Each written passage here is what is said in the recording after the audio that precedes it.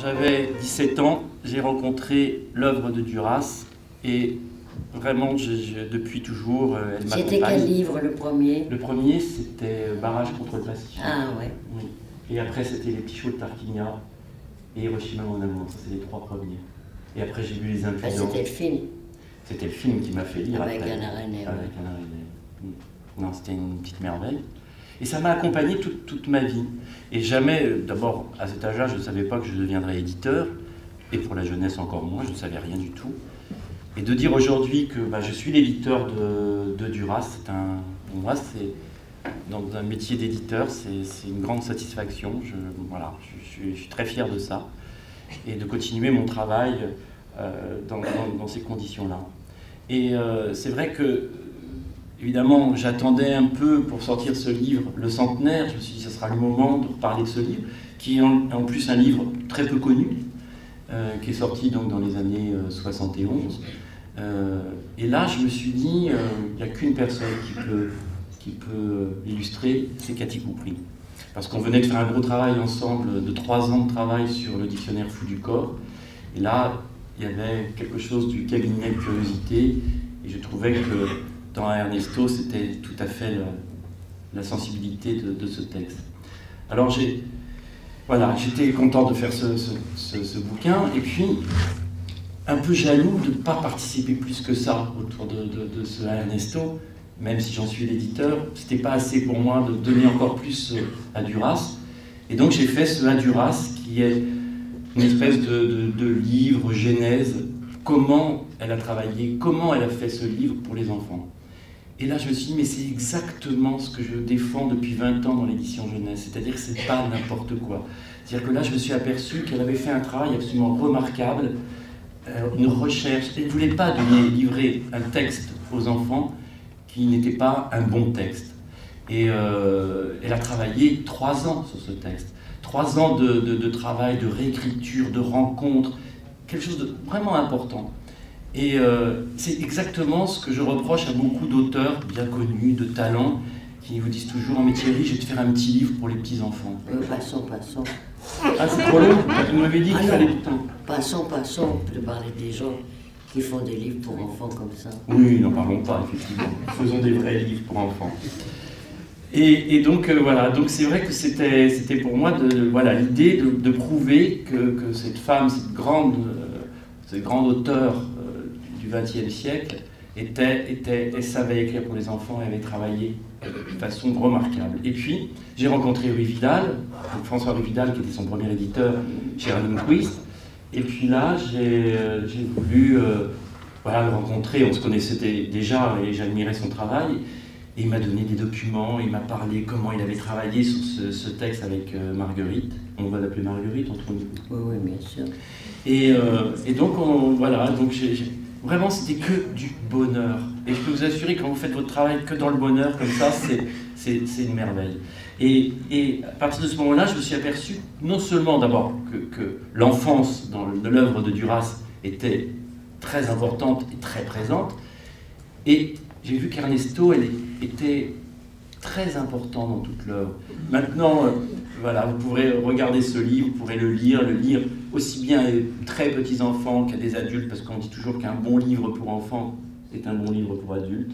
Et là, vous avez vraiment l'exemple de la littérature jeunesse, et j'en suis fier de m'en être l'éditeur. Et donc, je vais laisser la, la, parole à Cathy. Simplement un petit mot sur les images, puisque, puisque vous allez les découvrir aussi. Euh, donc les originaux sont effectivement en exposition. Ces images, elles ont été travaillées sur ce principe la question que je me suis posée, c'est ce que c'était pour moi la connaissance, puisque c'est ce que j'ai entendu très fortement dans le texte à la première lecture. J'ai pensé que c'était une grosse responsabilité et quelque chose de très délicat de faire des images sur ce texte, parce qu'a priori, il n'avait pas besoin, il n'avait plus besoin de rien, enfin, il était, il était extrêmement plein. Et euh, donc j'ai cherché simplement à, faire entendre une autre voix, euh, une voix parallèle à, celle du texte, pour dire le rapport à la connaissance. Euh, et pour moi, la connaissance, quand on grandit, et qu'on se sent euh, à l'aise, bien comme adulte, sur ses deux pieds par rapport à la question de la connaissance, c'est-à-dire qu'on a encore envie d'apprendre, euh, c'est parce qu'on arrive librement à établir des correspondances. pour moi, l'enjeu de la connaissance, c'est celui-là. c'est ce qu'on n'arrive pas toujours à rencontrer à l'école. Et c'était déjà enfant une question que je me posais par rapport à ce que je rencontrais dans l'enseignement extrêmement morcelé que, que j'avais à l'école. Et du coup, j'ai souhaité repartir effectivement des cabinets de curiosité et de l'époque des grandes découvertes, c'est-à-dire cette époque où en fait rien n'était classé. Il n'y avait pas une chose qui valait plus qu'une autre. Tout était bon. Euh, de même que pour les enfants, tout est bon. Tout est bon pour apprendre, tout est bon pour s'émerveiller, tout est bon pour la curiosité. Donc en partant de ça, du coup, j'ai été chercher effectivement dans les cabinets de curiosité euh, dans la, bibliothèque du muséum à, Paris, du muséum d'histoire naturelle, j'ai été chercher effectivement tout ce qui était important euh, pour le, pour le tisser, pour, pour le mêler, parce que ça c'était ma propre affaire d'apprendre en faisant le livre. Mais euh, mon idée c'était d'installer des jeux de correspondance qui vont euh, de plus en plus librement, de plus en plus vastes, euh, sans ordre apparent. Et ça c'est ce que Marguerite Duras dit dans Les Enfants. Elle dit que cette façon qu'a Ernesto d'apprendre, c'est une façon sans ordre apparent. Et pour moi c'était capital cette notion-là. Effectivement, il n'y a pas d'ordre, il n'y a pas de il n'y a pas de rangement dans la connaissance. C'est une constellation. Donc voilà, c'est comme ça qu'on a essayé de travailler euh, avec Thierry Magnier, qui m'a accompagnée, euh, parce que quand même, je ne voulais pas être toute seule sur cette affaire-là. Vous savez, Marguerite, c'était la douleur aussi, hein, et, le rire. Parce que quand on parle de Madame Marguerite Duras, cette femme a été insultée, ridiculisée. Il fallait qu'elle ait vraiment ce vice de l'écriture au corps. Il fallait qu'elle écrive. Et les périodes, d'ailleurs, elle l'a dit très très bien, elle a très bien écrit.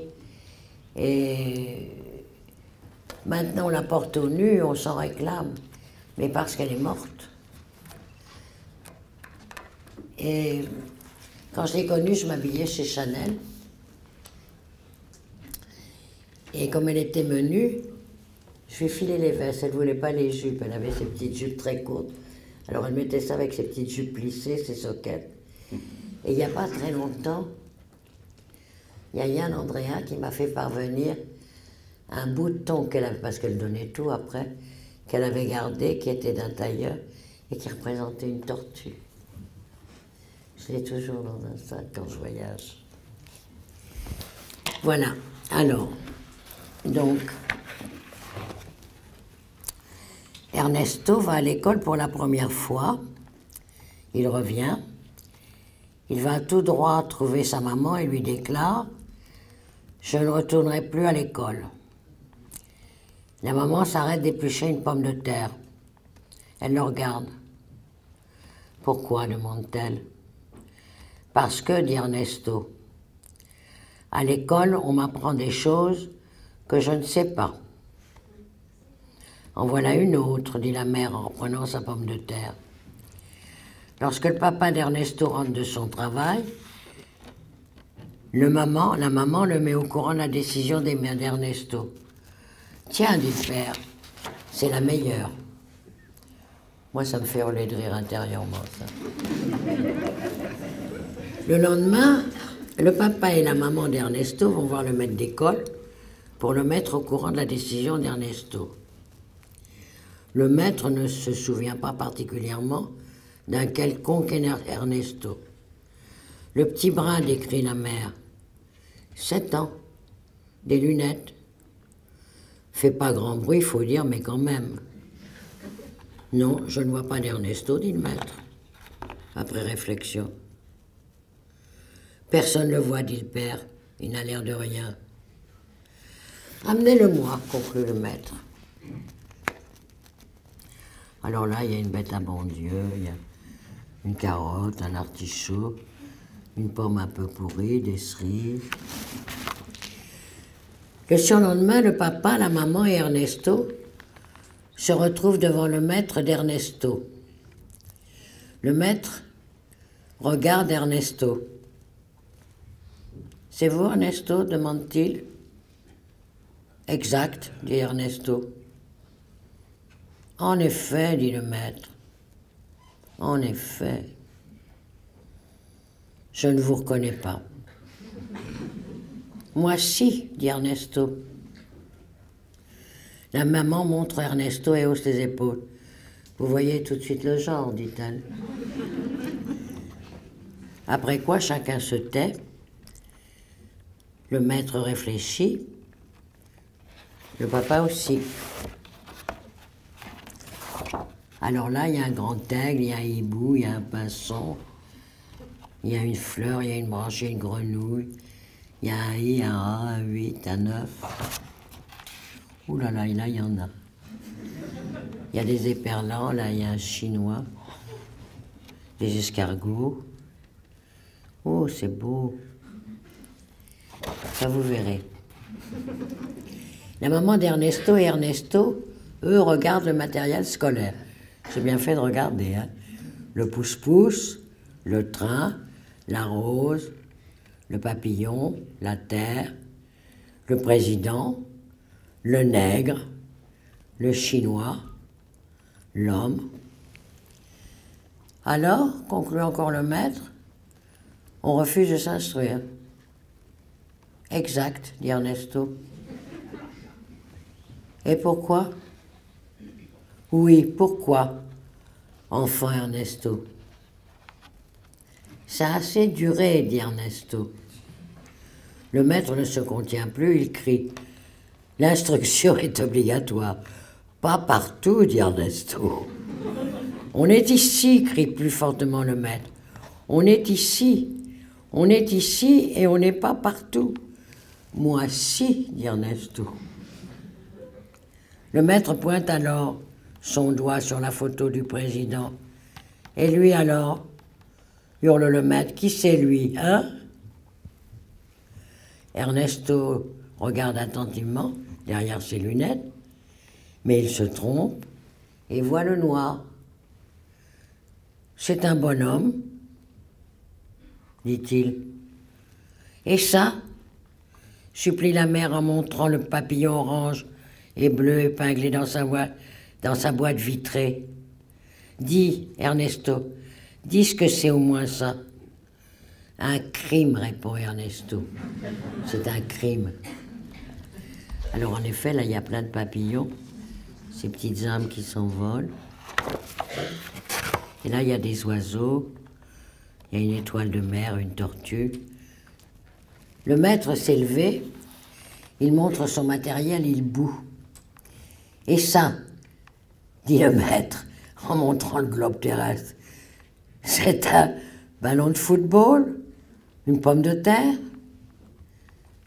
C'est un ballon de football, une pomme de terre, et la terre, dit Ernesto. Le maître s'assied découragé.